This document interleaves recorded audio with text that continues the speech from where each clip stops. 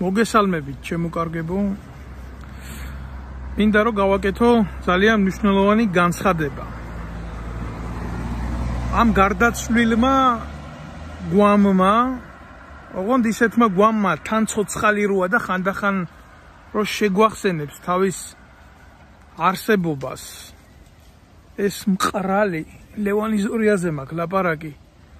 ეს კორუმპატორი, ცნობილი საქართველოსდან რო გადამალეს. გააკეთა განცხადება, რომ თურმე ძალიან დიდი წინსვლა გაუკეთებია ჩვენ ქვეყანას ადამიანის უფლებების საკითხთან დაკავშირებით და გერმანია, სადაც ელჩად იმყოფება, რიგ კეთილდღეობებს თავაზობს საქართველოს ამის გულისთვის და რაღაცა იდიოტობებს ლაპარაკობს ეს დედამოწყნული. დღეს გერმანიის ფედერალური მთავრობის მიერ იქნა ძალიან მნიშვნელოვანი გადაწყვეტილება მიღებული. ეს არის შედეგი იმისა, რომ დააღიარება იმისა, რომ საქართველოსში ადამიანის უფლებები არის დაცული, საქართველოს აქვს მნიშვნელოვანი პროგრესი. ახლო მომავალში საქართველოს მოქალაქეებს კონდეთ ლეგალური დასაქმების პირობები გერმანიის ფედერაციულ რესპუბლიკაში. მალე როგორც კი იქნება კანონპროექტი მიღებული გაფორმდება მიგრაციის შესახებ შეთანხმება, სადაც მოხდება ცალკეული სფეროების იდენტიფიცირება და ამ სფეროებში სწორედ იქნება ჩვენი მოქალაქეებისთვის დასაქმების ლეგალური ბაზა უზრუნველყოფილი. ვიღაცას მართლა გონია, რომ ახლა ეს ასეა და უმრავლესობა ამას დაიჯერებს. მაგრამ საბოლოოდ როცა აღმოჩნდებიან ისეთ მდგომარეობაში, აგერ 90000 კაცი რო ჩაეწერა გერმანიაში სამსახურის საძებრად გახსოვთ ხო თქვენ? და შემდეგ წაგუზულ მდგომარეობაში მარტოს რო ათხრევიებდნენ 200 კაცამდე წაყვანილი 90000-დან ისიც რო ასარჩევად გახდა ვის წაიყვანებდნენ და როგორ კბილის ზომაც კი ლამის რო გაუსინჯეს. გატეხილ ბუტკაში რო აცხოვრებდნენ ზევიდან წვიმა რო აღრჩობდათ და ქვევიდან დამპალისოკო. დახმარებას რო ითხოვდნენ და კაციშვილი არ იყო პატრონი? ალახში, ყლაპოში, ცურავთ. თეხზე რა გვაცვია, არ იკითხა. მარცხის მირთმევისგან მინიჭებული ნეტარებად უშრომის ასეთ კაბალურ პირობებზე გადიოდა ეს ადამიანები ალბათ ვერ წარმოიდგენდნენ გერმანიაში სამუშაოდ წასულ მოქალაქეებს იქ ისეთი სამუშაო პირობები დახვდათ რომ საქართველოს სანადრედი გაუხდათ. აი კადრებით სტანდარტული კომენტარით რომელიც თავად გადაიღეს და სოციალურ ქსელშიც განათავსეს. საცხოვრებლად უარგისი კონტეინერი მოუწესრიგებელი სველი წერტილებით არასაკმარისი საწოლები არა კარა და არა პირადი სივრცე და სამზარეულო რომელიც კრიტიკას ვერ უძლებს. სოკო ზევითაც არის აი დაბლა, აი ამას უყურეთ. მანჯარას ვერ გავაღებთ, იმიტომ რომ ყავს ყველაფერი და. კი ანუ აქ მოსახლეობა რო არის ზევით, ფაქტიურად ზემანოა, ის ჩვენი ტუალეტია, ჩვენი სახლი იმათი. აი ესეთი ელჩი დღეს ქართველებს გვეუბნება, რომ ძალიან მალე თურმე გერმანიაში ჭირდება მუშახელი და ახალ სტანოგზე შესასმელ ქართველებს იმედს აძლევს, რომ ძალიან მალე გერმანიაში ლეგალურად დასაქმდებიან. ვის გჯერათ ამ დედამოწყნულის ამ ნაბოზვარის რომელმაც საკუთარი ძმიდან საკუთარი ძმიდან დაწყებული არაფერს არ ვამბობ მის ცოლზე მის მეორე ცოლზე. ძმა რომელიც ფაქტიურად ყველაფრის უფლება მქონდა მიცემული საქართველოში რო დაიჭირეს ფაქტზე და წაატყნეს სრული ამ სიტყვის მნიშვნელობით დებილად გაასაღა იმიტომ რომ სიტუაციიდან გამოსულიყო როჟა რომელსაც ჰქონდა უშიშროების საბუთი მიცემული რომლითაც აბსოლუტურ ყველა დარღვევას გადიოდა შინაგან საქმეთა სამინისტროს წინაშე. აი მაგალითად გზაზე რო დაერღვია თქვა საავტომობილო მოძრაობა, ამოიღებდა ამუშრობის ბარას, ანახებდა პოლიციის თანამშრომლებს და იძულებული იყო რომ გაეშვა ოპერატიული საფუძვლის საბუთის საფუძველზე. დებილი, მოგვიანებით რომელს გაასაღა ფსიქოლოგიურ ავანტყოფად. და ის კიდე პატრული ინსპექტორს ეუბნებოდა შენი დედა მოვთყან შენი შენი იციმე ვინა ვარ და ვინ არის ლევანი ზორია აი ეს ლევანიზორია დღეს გეუბნებათ რომ ყველაფერი კარგად არის მე ადამიანი რომელიც წლებია ჯერ უმსახურობდი თავდაცვის სამინისტროში და შემდეგ ამ უצებას როგორც ორგანიზაციის თავმჯდომარე არასამთავრობო სექტორიდან ვაკონტროლებდი როგორც ადამიანის უფლებებს, ისე იქ მიმდინარე კორუფციას და ასე შემდეგ. თუ ჩემი გძერათ ბატონებო, ერთ სახლს, ერთადერთ სახლს კი არა, ერთ-ერთ სახლს, ლევან იზორიას ერთ-ერთ სახლს, რომელიც მან ააშენა ჯარისკაცების ოფლის ხარჯზე, ის რომ ბატინკას არ ყიდულობდა, ის რომ საკვებს არ აწოდებდა სწორად იქედან მოპარული ფულით, რაც ააშენა ლევან იზორიამ, უბრალო სახლის ჭანჭიკი 200 დოლარიდან 500 დოლარზე მერყეობდა, რომელიც ჰქონდა ნაყიდი. მე იმ სახლზე არ ვლაპარაკობ, თავის მეორე ცოლს რო აჩუქა. ესეთი ძალიან ბევრი აქვს და მაშინ როდესაც შეიარაღებულ ძალებში ყაზარმები იყო დამპალ მდგომარეობაში მაშინ როდესაც ოფიცრებს სახლები არ ქონდა საცხოვრებელი და ქვეყნის გადახდილი ხელფასი ოფიცერზე იმაში მიდიოდა ნაცვლად იმისა რომ ერჩინა ცხოვრებაში რაღაცას მოწეოდა კაცი ქირაში ქირაში მიდიოდა თბილისთან. ახლოს რაღაცა სოროში როეცხოვა თავის წოლჩვილით ის ხელფასი და ის გასამრჯელო რომელზედაც სიცოცხლეს დებდა და იზორია ამ დროს თავის შვიდოთახიან სახლს ვაკეში აკირავებდა ირანის ელჩზე. და ესეთი კაცი გამოდის დღეს გერმანიაში გაპარული ეს ბოზიშვილი. და იქედან გვიმტკიცებს თუ რა ბედნიერი იქნება ჩვენი ცხოვრება და ჩვენი მომავალი, როდესაც ჩვენ საქართველოსდან წავალთ და გერმანიაში დავსახლდებით იმ სამსახურში, სადაც გერმანიას მუშახელის დეფიციტია. თქვენ წარმოგიდგენიათ? რამხელა შეურაცხყოფაზე არის ლაპარაკი ხალხო? კაცი ბრჭყალებში ამას თუ კაცი ქვია, ამ ის რო არის, რა ქვია, მულტფილმის გმირი რო არის. ვინიონები თუ მინიონები. ამ მინიონს თუ ვინიონს რომელმაც მთელი სოფელი ერთ სამეგრელოს ერთი სოფელი მოხსნა წამოიყვანა ეს სანდო მეგრელების ჯგუფი და დაასაქმა თავდაცვის სამინისტროს გენერალურ ინსპექციაში იმიტომ რომ უბრალოდ ესეთი ხალხი გჭირდებოდა და ნაცვლად მაგისა მთელი შეერაღებული ძალები და მაკონტროლებელი უצება და ინსპექტორების სამსახური სახში გაყარა.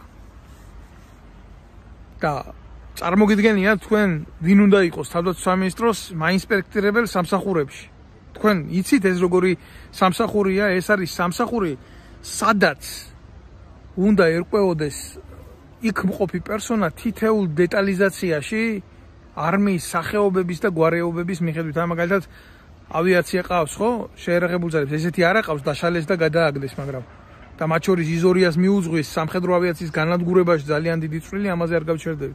უნდა იჯდეს ინსპექტორების სამსახურში ისეთი პიროვნება რომელსაც ესმის ავიაცია აი სატანკო მიმართულებაა ჯავშან სატანკო. ხო უნდა იჯდეს ისეთი პიროვნება რომელიც ერკვევა ჯავშან სატანკო მიმართულებით და უნდა იყოს ამაში ჩახედული. არის ავტომექანიზირებული ქვედანაყოფი ხო? ამ ბატალიონი ან უფრო დიდი შენაერთი ხო? იმ უნდა იყოს ინსპექტორების სამსახურში ისეთი პროფესიონალი რომელიც ამ კუთხით ერკვევა.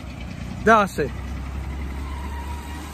ამან მოიყვანა იქ მისი მეგრელები დედამოწყნულები ისინი. ვიღაცა ბაძაღუები, შმაძაღუები, ყლაძაღუები და დანიშნა იქ. და რითი რითი იყვნენ იცით დაკავებული არჩევნების დროს ბიზინა ივანიშვილისთვის ჯარიდან ხმები რომ მოეთუშათ რა. და ავღანეთშიც ანალოგიური იქ ავღანეთში სხვა სახის კასტა ყავდა კიდე შექმნილი. და არ დაგიდებდნენ არავის და არაფერს. და რამდენი კაცი გაუმწარებიათ. და ყველაზე სამწუხარო რა არის ისი იწვევდნენ სეპარატიზმს ქვეყანაში. თვითონ თავდაცვის სამინისტროში ქართულად ლაპარაკი არ მიდიოდა, აი როგორც ახალაიების დროს მიდიოდა იქ. ყველაფერი ისე მიდიოდა ამათ დროს. და ეს დედა მოტყნული ქართულადაც ვერ ლაპარაკობს წესიერად. და დოქტორი ლევან იზორია და ეს ლევან იზორია და ეს ლევან იზორია და ლევან იზორია ასეთი და ლევან იზორიამ შექმნა მიხეილ სააკაშვილის საპატრულო პოლიციის სისტემა და ივანიშვილის გამზდელი დედა რომ მოვტყან მართლა ეს ის ტიპი არ არის ადეიშვილის გათბობაც რო უნდა და ქართული ოცნების სისტემაში და იმას არ ამბობდა რომ მარტო სააკაშვილი იყო ცუდ დაარჩენი არა ეკნად ეხლა ადეიშვილებს კუბლაშვილებს. აი ესეთი ნაწარმია იზორია რომელიც ჩვეულებრივ ჩადგა ბიძინა ივანიშვილის მანკიერ სამსახურში. ეს არის ლევან იზორი ეს არის ნაძირალა რომელმაც ვინ არ გამომიგზავნა ჯერ რამდენს ვეომებოდი ამ ნაბიჯვარს არ დამიტოვებია არც ერთი ინსტანცია თუ არ სად არ უწყობდი მი- მიტინგებს. წამოწეული არ ქონდა საძინებლიდან თავი მიკროფონით რო რო- შა- სახში ამ დედა მოთხრობს ამას. ნუ კრიმინალის გულისთვის რაღაც ჩადიოდა ხო? აი ყველას მინდა გავაგებიო რომ ჩვენ მოვედით სამშობლოს მოღალატის ლევანი ზორიას გაქირავებულ სახთან. თუ შეიძლება დავიწყოთ და წავიდეთ. აქ ცხოვრობს ბატონი ლევან იზორია, ადამიანმა, რომელმაც ფეხშიშველი დატოვა ჩვენი ჯარისკაცები, რომელიც მიზანმიმართულად ანგრევს შეიარაღებულ ძალებს და თქვენ წარმოიდგინეთ ახლა ირანის ელჩზეა გაქირავებული აკაურობა. საკუთარი ცოლი დაასაქმა ნავთობის და გაზის კომპანიაში ეს კიდე ცალკე ხრელი არის შექმნილი.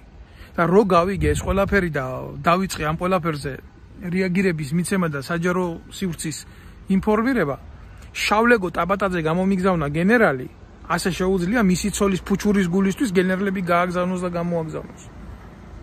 მე იმ ტაბატაძესთან არანაირი პრეტენზია არ მაქვს. არანაირი. მაგრამ უთხრეს და რა ქნა მოვიდა. და იზორია კადრულობდა ყველაფერს, ოღონ მისი ცოლის მუტელში არ შეთხრილიყო სამოქალაქო ყლე. აი ეგ არის რეალობა. რომ მისი ცოლი დარჩენილიყო იქ საქართველოს ნავთობისა და გაზის კომპანიაში დაცვის სამსახურის ხელმძღვანელ პირად უსაფრთხოების სამსახურს კურირებდა იზორიას მუტელი ცოლი ეს მეორე რო იქ ყოფილიყო და აეღო და მოეწველა ბიუჯეტი. მზად იყო ამის გულის. ნათობის და გაზის კორპორაციიდან გირეკავთ ერთი წუთით გადაგთავთ თქვენ წერილთან დაკავშირებით. დამელოდეთ.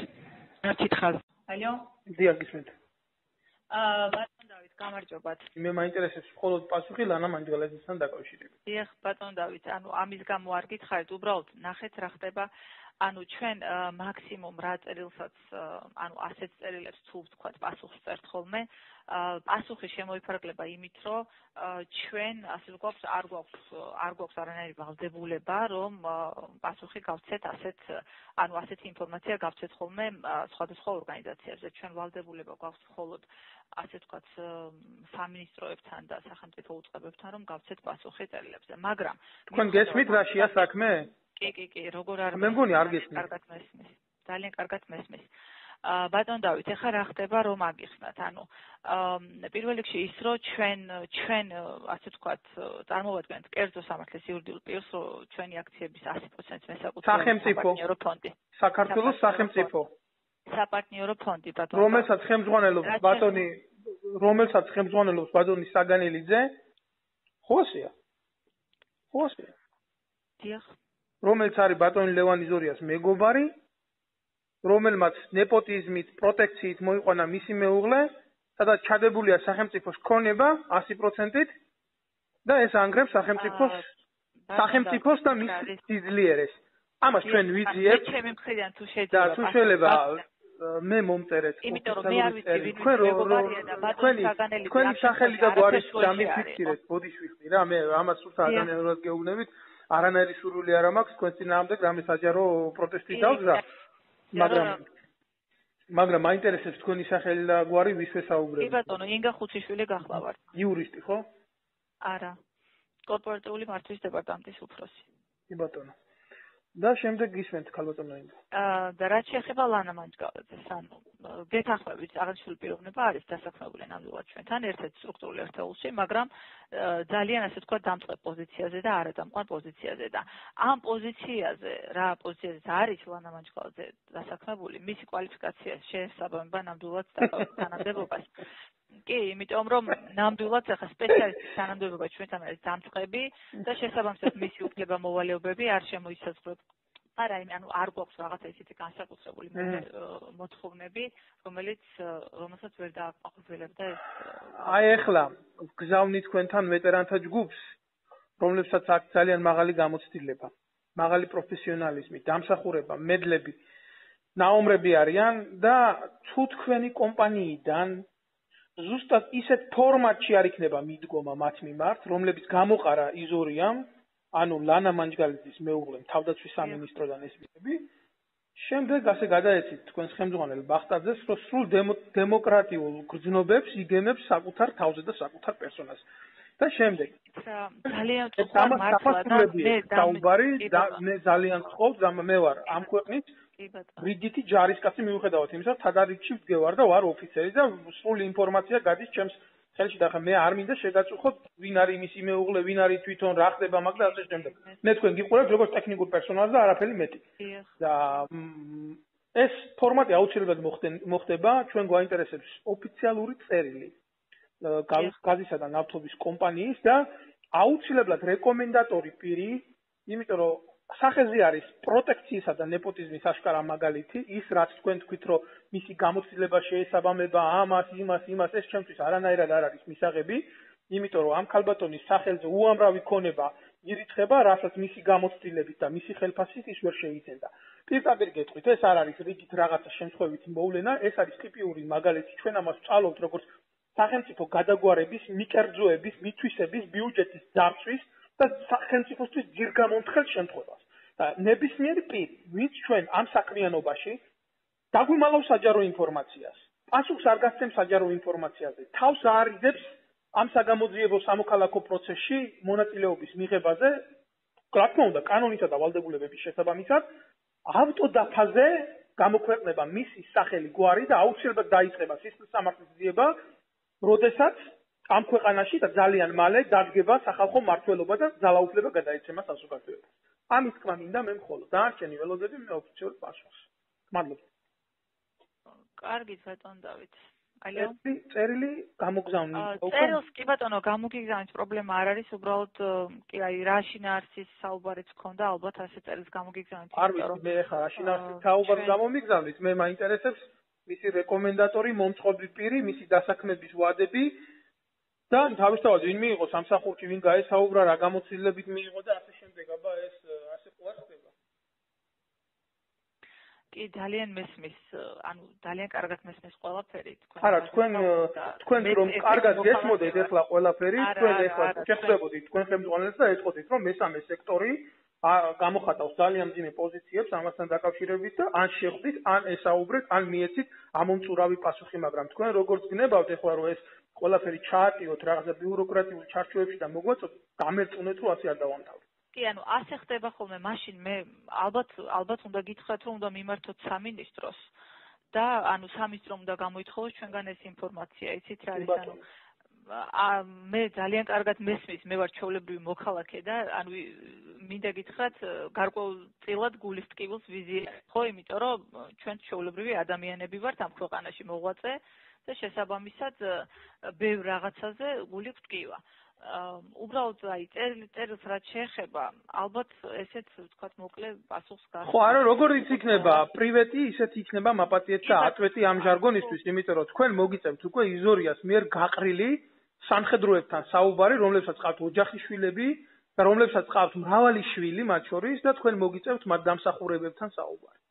და როგორი იქნება ეს უკვე მე მე არ ვიცი მე. ჩვენი კორპორაცია რა შუაში ახლა ამასთან თქვენი რა აბა როგორ არ არის დასაქმებული ყავს თავდაცვის მინისტრის წოლი ნეპოტიზმით და ანგრევიებს სახელმწიფო ბიუჯეტს და კორუფციის ფაქტია ტიპიური ეს არის ძარცვა სახელმწიფო ბიუჯეტის ნეპოტიზმის და პროტექციის დავლით და ეხა თუ თქვენ არ გინდათ აღიარებით ერთი არის ხო ეგ ეხა საქართველოს სახელმწიფო მორალი და პასუხისმგებლობა ცოტა სხვანაირად არის ამ საკითხთან მიდგომაში რა ხო, ნუ მესმის რაზეც საუბრობთ, უბრალოდ ეხა ამ გოგონას არ აქვს ის პოზიცია, რომ რაიმე ვერ შეესრულოს მის მიერ მიღებული დავალებები. არ ვიცი, ეს არის თქვენი შეხედულება, ეს არის ეს არის თქვენი შეხედულება, ეს არის თქვენი შეხედულება, თქვენც ისევე მიიღეთ ეს კალბატონი მხოლოდ იმიტომ, რომ იყო ლევან იზორიას მეუღლე, ამაში უყურებთ ჩვენ საფრთხეს და ნებისმიერი თქვენი შეფასება დანარჩენი ჩვენთვის არის მოკლებული ყველანაირ საფუძვეს უკვე ჩვენ გვაქვს მიზეზი იმისი, რომ საზოგადოებას წარუდგინოთ თქვენს უცხებაში მიმდინარე პროცესები. ძალიან თქოს მომზადეთ წერილი და გამოუშვით ოფიციალურად. დანარჩენს ჩვენ გადავწყვეტ რა უნდა გავაკეთოთ. პასუხს აგებს თქვენი ხელმძღვანელი პირი ამაზე პირდაპირ თანამდებობრივად. და თუ არ აგებს, აი მე მე გეუბნებით თქვენ რომ სამოქალაქო პროტესტით ამაზე ძალიან სერიოზული დავაწყოთ. სამოქალაქო სექტორში და მათ შორის თქვენი პრესამსახურის ხელმძღვანელი, რომელიც მიზან მიმართულად არიდებს საზოგადოებას თავს და არ აძლევს საზოგადოებას იმ ინფორმაციას და თუ რა ხდება მის უცხებაში, რომ დასაქმებულია თავდაცვის მინისტრის მეუღლე. ეს არის ძალიან დიდი პრობლემა დემოკრატიისთვის და დემოკრატიული წყობისთვის. მადლობთ, ქალბატონო, მე თქვენთან მეტი საუბარი არ მსურს, ძალიან ბევრი საქმე მაქვს. ხო, ვისაც ჩემი სიტყვები არ სიამოვნებს, ხო? და ის სიამოვნებს, რასაც იზორია აკეთებდა, რასაც მისი ცოლი აკეთებდა, რასაც იზორიას ვიღაცა ბიძაშვილი ბაძაღოა აკეთებდა რასაც ეს ტრაძაღოა აკეთებდა რასაც ეს დედამოწმულები აკეთებდნენ ყველა. აი მართლა მოგიტყანთ დედის სამუტელი ყველას რა. და მარტო იმიტომ რომ იზორიას ჩოულებრივ ფრთახართ გამправებლები და ამ დროს მთელი საქართველო ემიგრაციაში გაიზიდა და ეს დედამოტყლული კიდე წასული იმაში გერმანიის საელჩოში იქ აგრძელებს ანტისახელმწიფოებრივ და ანტისაზოგადოებრივ მოქმედებებს და ხალხს გვეუბნება, რომ გერმანიაში წაგვიყვანს გერმანიის ასაშენებლად და მუშახელის დეფიციტია იქ. და ეს უნდა გვიხაროდეს ჩვენ. თქვენ ეს თუ ვინმე ამას ნებისმიერი ფორმატით გაუправებთ იზორიას და იტყვით, რომ აი კი, მაგრამ ესეთი ლოგიკა მიუღებელია, ხო? აი მაინც თქვენი დედა მოტყა ყველასი. იმიტომ რომ ნარატივჩიკები ხართ ქართული ოცნების. თქვენ ეხლა ყველა უნდა იდგეთ ფეხზე და უნდა ყვიროდეთ განგაშის ზარებს უნდა სცემდეთ. და ამან ნაცვლად იმისა რომ იმ გერმანიის საელჩოში იქ გადამალულიყო და გაჩერებულიყო იქედან დაიწყო სხვადასხვა კორუფციის კეთება და ნეპოტიზმის კეთება გომელაურის ბოზანდარა შვილი წათრია აქედან საქართველოსდან და გერმანიაში საქართველოს საელჩოში დაასაკმა და იმ ნაბოზვარ გოგოს რომელსაც აი ღარმერიდება და პირდაპირ ვიღაცა შალოიანის ფალოსი გამოუღეს პირიდან წათრიეს და დაასაკმეს გერმანიის საელჩოში. ვითომ რაღაცას წარმოადგენდეს იქ და უკვე ნახევარი მილიონი ევრო აქვს შეჭმული მის მივლინებებში მის იქ ცხოვრებაში და მის ეგრეთ წოდებულ გერმანულ შოპინგებში და ამ ნაბოზვარმა ვიღაცა 1000 ყლეს გადამხტარმა გომელაურის შვილმა რომელსაც ცხა საყვარელი და ცხა პატრონი ყავს და ვიღაცა მე იქ სიძეთ გამოუნახეს ქართველი ერის ფული უნდა ხარჯოს ბერლინში რაღაცა შოპინგებში და ამ დროს გაეროს მონაცემებით 300 ბავშვი წლიურად შიმშილით კვდება საქართველოში. და ეს ნორმალურია? გეკითხებით თქვენ და ვიღაცას გაშფოთებთ ის ჩემი ლოგიკა და ჩემი ისა რა ქვია სიმძაფრე სიტყვების და ესეთი სიბინძურია ეს თვით თქვენ ამას და ის ის სიბინძური არ არის იქეთ ტრავერზე რაც ხდება ეს ნორმალური ფაქტია? ეს ნორმალურია? მორბიან ქართველები. მორბიან. და ამაზე კიდე აუცილებლად გავაკეთებ ცალკე ბლოგს როგორ ხდება მას ამათ გადამკიდე როგორ ხდება უცხოეთის ქვეყნები უამრავი სამკურნალოდ მოდის ეუბნებიან რომ საქართველოსში მკურნალობაა უამრავი გადასარჩენად მოდის არა თქვენ არა ხართ საფრთხის შემცველი ქვეყანა და ამ დროს ესენი ლატენტური ცეცხლით მთელ ერს ანადგურებენ და უხდება ქართველს წვალება ჯოჯოხეთის გავლა და 1000 იმის დოკუმენტის დადება, რომ დაამტკიცოს ის თუ რა თქმა უნდა სიმართლე გააჩნია. და ის ადამიანები უმრავლესობა, რომლებიც აქ მოდიან, გამოქცეულები ამათ მანკიერ პოლიტიკას. საკუთარ სამშობლოში უფლება წართმეულები ვერ გროვდებოდნენ ერთმანეთის სიტყვის დასაცავად და აქ უცხოეთში უხდებათ მონური შრომა, მონური წვალება და ღირსების საბოლოო შაძაღლება საკუთარი ხელით რო ხვალინდელი დღე გაითენონ. რომ ხელგაწვდილებმა მათხოვრად ჭამონ. აი ეს არის რეალობა, როდესაც განცხრომაში ცხოვრობს ლევანი ზორია და მისი ბოზანდარაცოლი. ეს არის კაცი, რომელმაც ყველაფერზე ხელი მოაწერა, ყველაფერი იკადრა. შინაგან საქმეთა მინისტრი იყო პირველ წელს რო გაშორდა და გაშორდა ისე რომ მიდან ლიფტის კამერიდან ამოიღო ჩანაწერები მაღალ თანამდებობის პირი იყო იქ და ამოიღო როგორ როგორ აძლევდა მისი ცოლი სხვა სლივჩი და დაუდო მისწოს და უთხრა რომ წადი ბიძია და ქონებაზე არ არ გამომიხატო პრეტენზია თუ რა მაშინ ამ პროცესს მოგიგებო და აი ესე გაშორდა პირველ წელს და ესეთი კაცი რომელიც პირველი ცოლის ახალგაზრდა ცოლის შედარებით კაპრიზებში უშვებს სახელმწიფო ქონებას ეს ბოზიშვილი ამის დედა მოვთხან ამისი. რამე რამეში გამოადგება გამოადგება ქვეყანას. ჯერ ეს გვაკლდა რომ საქართველოს ძარცვავდა და ნავთობ კომპანიას ძარცვავდა ის ბოზიშვილი ის მისი ცოლი მეორე ცოლი და ეხლა იქა გვაკლია მაგისმა ეგრეთ წოდებულმა კაპრიზებმა მთელი ბერლინი იყიდოს რა არ დაუკვლიათ არაფერი არ და არიკლებენ აი როგორ როგორ როგორ სიმდიდრეში ცხოვრობენ იცი? თვითონ გერმან გერმანიაში კარენოი ბერლინელი და თანამდებობის პირი რომელიც წლებია უკვე ქონებას აგროვებს და სტაციონარულად მიუყვება თავისი ცხოვრების როგორც კარიერული განვითარების ისე ცხოვრების აღმშენებლობის გეგმას ის თავის თავის თავს იმხელა ფუფუნებას ვერ მიცემს ეს ღარიბი ქვეყნის ელ ელჩადმჯდომი ნაბოძვარი იზორია და მისი ცოლი რო აძლევენ ეგ გერმანიაში. და ეს იცის ბევრმა. თუ ყველამ არა. მაგრამ ხმას ვერ იღებენ ამაზე. ხმას იღებენ მარტო მაშინ, როდესაც ესე გადავარდებიან ხოლმე დიდ უბსკულში და არიან ესეთ უბსკულში. ზოგ სოკო საკრეფად რო წაიყვანენ, ზოგს მარწვის საკრეფად რო წაიყვანენ და ასე შემდეგ.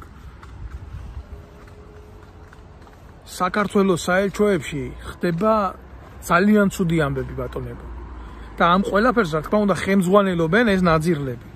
და ვიღაცა გამოდგება და დისკრედიტაცია არის აქ ჩვენი საელჩოების და ინსტრუმენტალიზაციას ეწევა ეს ადამიანი ბევრი თანამოქალაქის ვი ვი ვისი ინსტრუმენტალიზაციას ვეწევი თქვენი დედაშევეცი ნახევარი საქართველოს მონებად გაიხადეთ მაგ დღეს რო ჩამორბის ისა რა ქვია საქართველოს პრეზიდენტი გერმანიაში და იქ ცდილობს თავისი კუდის ყავარზე დადებას. მაშინ რატო არ ჩავიდა? იქ იზორიას ხელში გადაგდებული ხალხი შველას რო ითხოვდა ნახევრად აყროლებული იმის რეზინის ბუტკებიდან.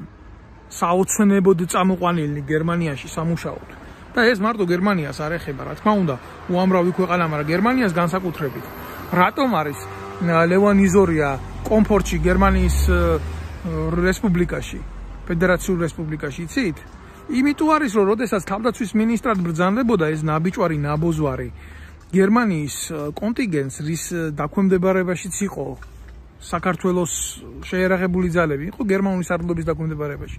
ცხელწერტილებში პატრულირება იქნება ეს ოპერაციის თუ სხვადასხვა ღონისძიებების შესრულება იქნებოდა გერმანიის მოქალაქეებს არ გზავნიდნენ. იქ მიდიოდნენ ქართველები. წმენდა იქნებოდა თუ ასე შემდეგ. მსხვერპლი ვისყავდა, იცი გერმანიის მოქალაქეებს შორის კი არ იყო მსხვერპლი, მსხვერპლი იყო ავღანეთში ზუსტად იმ კონტინგენტში, სადაც მათ მაგიერ ამოცანას ასრულებდნენ ქართველები. როდესაც ნატოს წევრ ქვეყანა საბერძნეთს სულ რაღაცა 4 და 5 კაცი ყავდა სამედიცინო ეკიპაჟი გაგზავნილი და მეტი არავე. და ამ დროს ჩვენ ჯერ ხო ვიყავით იქ რაღაცა უამრავი უზარმაზარი კონტინგენტით. და შემდეგ კიდე აი ასე ამათ მაგივრად რა თქმა უნდა ვეტენებოდი ჩვენ ყველგან და იზორია ამაში ღებულობდა პირად ქულებს. რატო არ დაამუშავებს ნებისმიერი ქვეყანა ესეთ მშვენიერ სახურცე მასალას? და რატო არ გადაარჩენს მის მოქალაქეებს და თქვენ წარმოგიდგენიათ ეხლა რამხელ რამხელა პასუხისმგებლობა აქვს გერმანიის თავდაცვის სამინისტროს იმ ჯარისკაცების მიმართ იმ კონტინგენტის მიმართ ვინც დაიჭრება ან ვინც დაიღუპება საერთოდ და რამხელა პასუხისმგებლობებს იყიდებს ამაზე ფედერაციული გერმანია ნებისმიერი ესეთი ბენეფიციალის მიმართ. რატო რატო? აგერ აგერ არა ვართ ქართველები ამის დედასარშევეცი აგერ იზორია არ არის. დავაი მიდი აი ამიტომ გრძნობს ლევანიზორია იქ კარგად თავს და ყველაფერი ამის მერე ჩემოკარგებო მისი ლეგიტიმაცია არის გამყარებული როდესაც ქართველი ერი მონობაში მყოფი ხმას ვერ იღებს და ბევრჯერ სიყვარულ დამტკიცებული ნაბოზვარი ეს. იმაშვება რა ქვია? გვითხრის ფესვს იქედან და ღალატობს ჩვენი მოქალაქეების ინტერესებს. ეს საქმე არის სისხლის სამართლის საქმე ხარ რაც ეს საქმე არის გამოსაძიებელი. და ეს საქმე აუცილებლად მოვა სისხლის სამართლის პასუხისგებაში. ლევან იზორიას წინააღმდეგ. ეს ეს გარდაუვალი მომენტი ეს დროის საკითხია და თუ უნდა ტვიზია გერმანელებს აგერ ვეუბნებ თუ გინდა მაგათენაზე ვეტყვი გერმანულათაც არა არა მაქვს პრობლემა. წაიყვანონ ეს ლევან იზორია და საქმე გინდა თავდაცვის სამინისტროში, ბუნდესვერში, გინდა დაასაქმონ ეკონომიკის სამინისტროში, გინდა პოლიციაში დაასაქმონ და მისცენ იმხელა ფუნება რომ აიშელოს, აიშენოს ბერლინის ცენტრში იმხელა სახლი რაც თბილისში აიშენა. იყიდოს იმდენი სახლები, რაც თბილისში იყიდა და კიდე სხვაგან და მიწები რო აქვს კიდე ნაყიდი უამრავი და მისი მეორე ბოზანდარაცოლის სახელზე რო აქვს გადაფორმებული. და მისცენ ამხელა კორუფციის უფლება და გაუტარონ ეს ყველაფერი საკუთარი ერთი სოფლის იქ მეგრული სოფლის დასაქმება და ასაქმებიონ ბუნდესვერში სადმე და ბუნდესვერი რომელმ რომელმაც სპეციალური ისიც კი შეიმუშავა, როდესაც ფედერაციული გერმანია და ეს გაერთიანდა. სპეციალური სამართლო შეიმუშავა. მეხუთე სამართლო რომელიც ამ ადამიანებზე მუშაობდა. ლევან იზორიას და ლევან იზორიასნაირ ასეთ ელემენტებს აღიქვამს თავისი სახელმწიფოს იმაში რა ქვია კაცო საძირკველში. არა სოდეს მაგრამ როდესაც სხვისი ქვეყანა და სხვისი ქვეყნის წარმომადგენელი მონა ასე ემსახურება მას ხო რა რატომაც არა? ესეთ იმათ იყოს და ისი არა. ისე არ ჭირდება, გამიგე? აი ეგეთი მომენტია ჩემოკარგებო. ეხლა მე მინდა დავასრულო ამ ყველაფერზე ლაბარაკი და ლევან იზორიას პირად ქონებაზე, კორუფციაზე და ასე შემდეგ მე კიდე გავაგრძელებ ამ ყველაფერზე ლაბარაკს. აუცილებლად გავაგრძელებ და ვიღაცამ აი ეს ნაბოზვარი, გაპარული, დამალული კორუმპატორი იქ როგორც გამერი აქ არ შემოგტენოს რა. ათაში ერთხელ რომ გამოანათებს მინიონივით თუ ვინიონივით ეს დედა მოწყნული რა.